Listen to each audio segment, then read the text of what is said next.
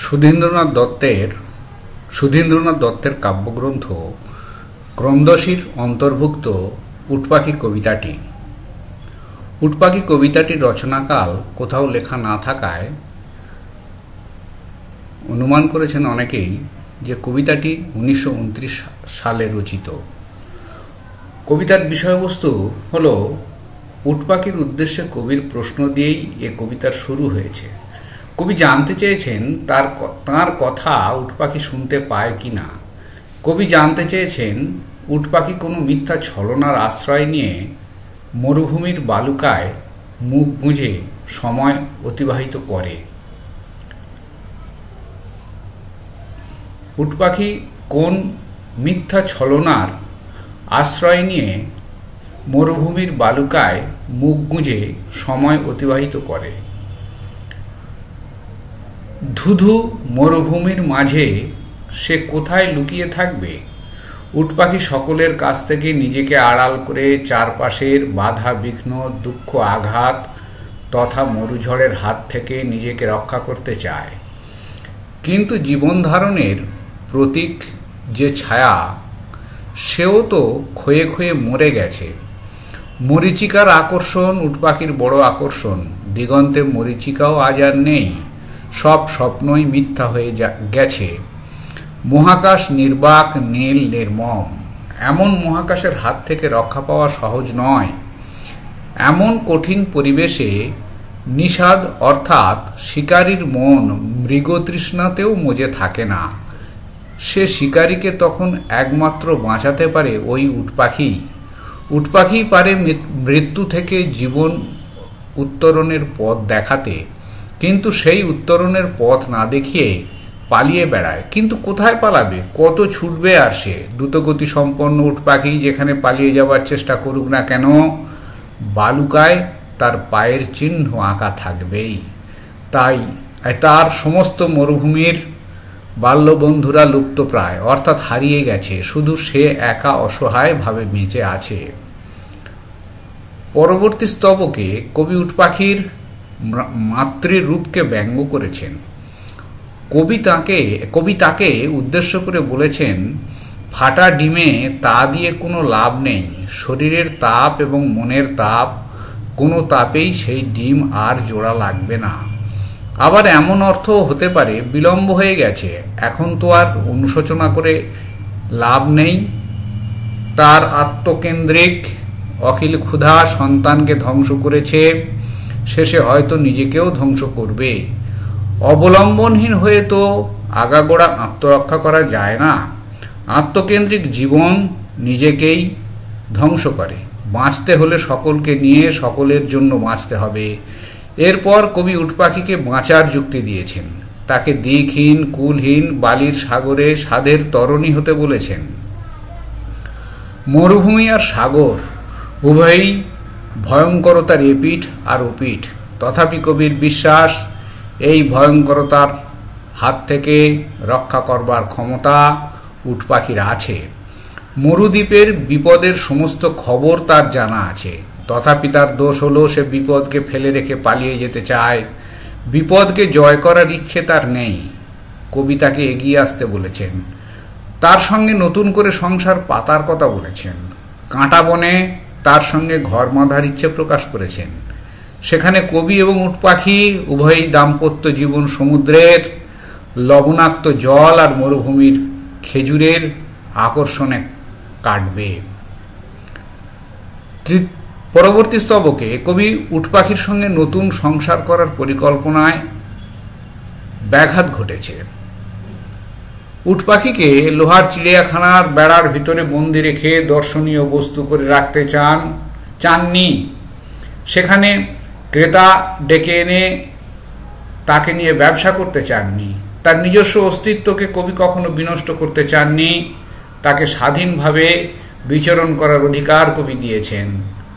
ভ্রমণ শোভন অর্থাৎ বনবাসী উট পাখির পক্ষে শোভনীয়, বিজন অর্থাৎ পাখা তাতে বানাবেন কবি। কাঁটা ভরা বনে এই যথেষ্ট। উট পাখির সঙ্গে সংসার করে কবি কোনো লাভের ব্যবসা ফাঁদতে চাননি। উধাও উধাও তারার অর্থাৎ নিরুদ্দেশের পথে কিংবা স্বর্গে বারবার তাকে খুঁজে বেড়াবেন না। উট পাখি শিশুদের মন ভোলানো, ঝুমঝুমি বাজানো পাখি নয়। নিজের ভাবনাকে কবি কখনো নির্বোধ, লোভের সঙ্গে মিশিয়ে দিতে চান না। উপবাসী, এই উট পাখি পাড়া জুড়ানো বুলবুলি পাখিও নয়। তার প্রভাব ও প্রতিপত্তি উনিশশো উনত্রিশ সালেও স্বমহিমায় বিরাজিত। দাম্পত্য সম্পর্কের পর পরবর্তী অংশে কবি ধ্বংসের প্রসঙ্গ এনেছেন। সমস্ত নৈরাশ্য নৈরাস্যতা বা ধ্বংসের দায়ভার কবি উটপাখির সঙ্গে সমান ভাগে ভাগ করে নেয়ার পক্ষপাতী। ভবিষ্যৎ প্রজন্মের কথা চিন্তা করে বলেছেন, অন্য সকলে আগেই তাদের পাওনা আদায় করে নিয়েছে। এখন তাদের উপরেই যাবতীয় দেনা শোধবার দায়িত্ব। মধ্যবিত্তের প্রতিনিধি হয়েও সংকীর্ণ, গণ্ডিবদ্ধ জীবন কবি পছন্দ করেননি। তাই অসহ্য লেগেছে খাওয়া, ঘুমনো আর আত্মরতি। কালদর্শী কবি জানেন, মধ্যবিত্ত সমাজের মানুষের মতন চোখ মুজে অন্ধ হয়ে বসে থাকলে কালের প্রলয়কে বন্ধ করা যায় না। মহাকাল সব দেখে নিয়ে চরম শাস্তিই দেন। তাই কবির কথা না শুনে উটপাখি মরুভূমির বালুকায় মুখ গুঁজে বসে থেকে স্বার্থপরের মতো জীবন অতিবাহিত করে নিজেই ক্ষতি সাধন করে চলেছে। এমন দুর্বি, দুর্বিপাকে তার ভ্রান্তি বিলাস ও শোভা পায় না। তাই কবির সিদ্ধান্ত, উটপাখি তার আত্মকেন্দ্রিক জীবনের খোলস ছেড়ে বেরিয়ে এসে উভয়ের কল্যাণের জন্য তার সঙ্গে সন্ধি করুক। তাতে অতীত, বর্তমান, ভবিষ্যৎ এক সূত্রে বাঁধা পড়বে। উটপাখির পক্ষে আর পালিয়ে বাঁচা সম্ভব হবে না। হাসি খুশিতে ভরা ভবিষ্যৎ প্রজন্মের মধ্যেই তাকে বেঁচে থাকতে হবে। উভয়ের স্বার্থ রক্ষার জন্য কবিতাকে লোক সমাজে বাঁধতে চেয়েছেন। উটপাখি অনেকদিন বেঁচে থাকলেও মানুষ তো বেশি দিন বাঁচে না। মানুষকে বেঁচে থাকতে হয় তার সন্তান সন্ততির মধ্যে দিয়েই। তাই কবিতাকে লোকোত্তরে নিয়ে যেতে বলেছেন এবং তিনি তাকে লোকায়তে বাঁধতে চেয়েছেন। উটপাখির সঙ্গে সংসার করার মধ্য দিয়ে কবি উটপাখিকে পরম আত্মীয় করে নিয়েছেন। কবি ভোলেননি। ডারউইনের বিবর্তনবাদকে, মানুষের সঙ্গে পশু ও পাখির নিবিড় সম্পর্ককে। এই কবিতার আলোচনায় একটা বিশিষ্ট তাৎপর্য আছে। কবি উটপাখিকে উটপাখিকে অবলম্বন করে যে কবিতাটি রচনা করেছেন সেই কবিতাটি হল একটি প্রতীক কবিতা। সুধীন্দ্রনাথ দত্ত ছিলেন মারলামের ভাব শিষ্য। মারলামে চিরপ্রচলিত বাস্তবতার একঘাইমিকে মেনে নিতে পারেননি। মারলামে রহস্যময়তায়, রহস্যময়তার বাস্তব রূপ দিতে গিয়ে রহস্যময়তার রূপ দিতে কবিতায় প্রায়ই প্রতীক ব্যবহার করেছেন। সুধীন্দ্রনাথ মারলামের পথ অনুসরণ করে সুর রিয়ালিস্ট কবি না হয়েও কবিতায় সার্থকভাবে প্রায়ই প্রতীক, প্রতীকের ব্যবহার করেছেন। উটপাখি কবিতায় যুগের বন্ধাত্ম, নিঃসঙ্গতা ও অবক্ষয়ের চিত্র ফুটিয়ে তুলতে এঁকেছেন মরুভূমির চিত্র। মরুভূমির বোকা উটপাখিকে কবি মধ্যবিত্ত সমাজের প্রতীক রূপে ফুটিয়ে তুলেছেন। কবি নিজে মধ্যবিত্ত সমাজের প্রতিনিধি হয়েও মধ্যবিত্ত সমাজের অসারতাকে ব্যঙ্গ করতে ছাড়েননি। উট পাখিকে উদ্দেশ্য করে কবি বলেছেন, আমার কথাকে শুনতে পাও না তুমি। কেন মুখ গুঁজে আছে, আছো তবে মিছে ছলে। কেন মুখ গুঁজে আছো তবে মিছে ছলে, কোথায় লুকাবে? ধুধু করে মরুভূমি ক্ষয়ে ক্ষয়ে ছায়া মরে গেছে পদতলে। আজ দিগন্তে মরিচিকাও যে নেই। নির্বাক নীল, নির্বাণ, নির্মম মহাকাশ। নিষাদের মন মায়ামৃগে মুজে নেই। তুমি কিনা তার সমূহ সর্বনাশ। কবি জানতে চেয়েছেন তার কথা উটপাখি শুনতে পায় কিনা। কবি জানতে চেয়েছেন উট পাখি কেন মিথ্যা ছলনার আশ্রয় নিয়ে মরুভূমির বালুকায় মুখ গুঁজে সময় অতিবাহিত করে। ধুধু মরুভূমির মাঝে সে কোথায় লুকিয়ে থাকবে? উট পাখি সকলের কাছ থেকে নিজেকে আড়াল করে চারপাশের বাধা, বিঘ্ন, দুঃখ, আঘাত তথা মরু ঝড়ের হাত থেকে নিজেকে রক্ষা করতে চায়। কিন্তু জীবন ধারণের প্রতীক যে ছায়া, সেও তো ক্ষয়ে ক্ষয়ে মরে গেছে। মরিচিকার আকর্ষণ, উট পাখির বড় আকর্ষণ। দিগন্তে মরিচিকাও আজ আর নেই। সমস্ত স্বপ্ন মিথ্যা হয়ে গেছে। মহাকাশ নির্বাক, নীল, নির্মম। এমন মহাকাশের হাত থেকে রক্ষা পাওয়া সহজ কথা নয়। এমন কঠিন পরিবেশে নিষাদ অর্থাৎ শিকারীর মন মৃগতৃষ্ণাতেও মজে থাকে না। সেই শিকারীকে তখন বাঁচাতে পারে ওই উট পাখি। মৃত্যু থেকে জীবনের পথে উত্তরণ করার ক্ষমতা উট পাখির আছে, কিন্তু তবু সে আত্মকেন্দ্রিক সুখ প্রবৃত্তির তাড়নায় বালুতে মুখ গুঁজে ছলনার আশ্রয় নিয়ে বসে থাকে। বন্ধা জীবন আর আত্মকেন্দ্রিক মধ্যবিত্ত সমাজের প্রতি ব্যঙ্গই এখানে প্রাধান্য লাভ করেছে। মানবতার দায়িত্ব পালন না করে পলায়নবাদী মধ্যবিত্ত শ্রেণির সেই সব মানুষরাই এখানে প্রত্যক্ষ হয়ে উঠেছে। কবি উপলব্ধি করেছেন, বর্তমান রাষ্ট্রনৈতিক অবস্থা যদি স্থিতাবস্থায় পরিণত না হয়, সমাজ যদি একই রকমভাবে সংস্কার, সংকীর্ণতা ও কলুষতা নিয়ে অপরিবর্তিতভাবে চলতে থাকে, তবে মানব জাতির দুর্দিন অবশ্যম্ভাবী। যে পরিবর্তন মানুষকে অন্যায় অত্যাচার থেকে বাঁচাতে পারত, যে শঙ্খনাদ বিধাতাকে অভ্যর্থনা করেছিল, সেই শঙ্খনাদ ধরিত্রীর ধুলোয় পড়ে লাঞ্ছিত। কিন্তু মধ্যবিত্ত সমাজ সবকিছু থেকে পাশ কাটিয়ে সব দায়িত্ব অবহেলা করে আত্মসুখে ব্যস্ত হয়ে বিধাতার জয়শঙ্ককে ধুলোয় মিশিয়ে দিয়েছেন। সমকালীন কবি বিষ্ণুদের কণ্ঠ থেকে সেই জন্য উচ্চারিত হয়ে হয়েছে একটি বুক ফাটা আর্তনাদ। জনসমুদ্রে নেমেছে জোয়ার, হৃদয় আমার চড়া। চোরাবালি আমি দূর দিগন্তে ডাকি, কোথায় ঘোষ আর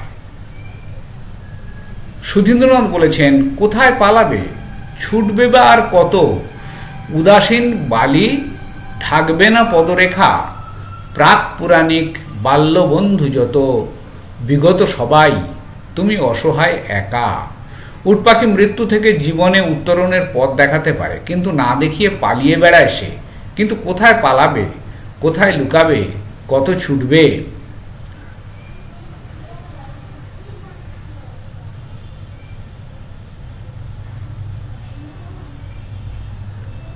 দ্রুতগতি সম্পন্ন উটপাখি যেখানেই পালিয়ে যাবার চেষ্টা করুক না কেন, বালুকায় তার পায়ের চিহ্ন আঁকা থাকবেই। তার মরুভূমির সমস্ত বাল্য বাল্য বন্ধুরা হারিয়ে গেলেও সে অসহায়ভাবে বেঁচে আছে।